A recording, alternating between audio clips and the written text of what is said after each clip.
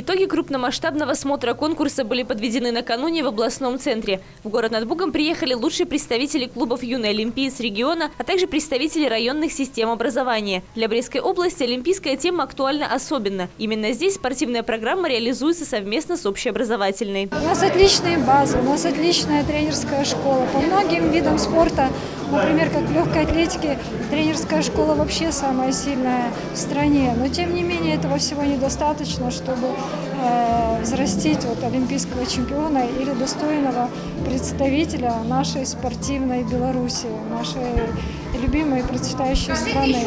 И чтобы такой человек появился, его нужно э, воспитать.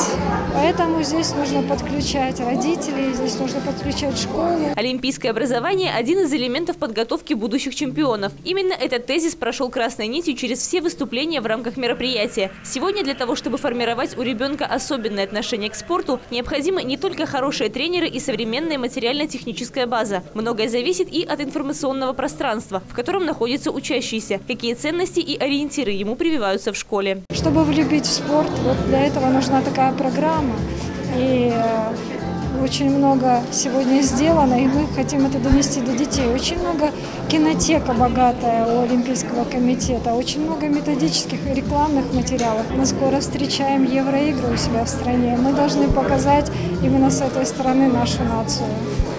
Готовимся к этому событию. Термин «олимпийское образование» прочно входит в нашу жизнь. Сегодня оно находится на одной ступеньке с другими общими дисциплинами. И это хорошо. Ребенок не только активно занимается спортом, заражаясь примером именитых спортсменов. Он учится формировать культуру здорового образа жизни, в которой есть место и тренировкам, и встречам с известными олимпийскими звездами. Это сегодня понимают и в общеобразовательных учреждениях, где работа в таком направлении ведется самое, что ни на есть, активная. Это заслуга всего педагогического коллектива и коллектива учащихся нашего учреждения образования. А, мы работали на протяжении прошлого учебного года, проводили олимпийские уроки, а, олимпийские дни, малые олимпийские игры, дни здоровья, спорта и туризма.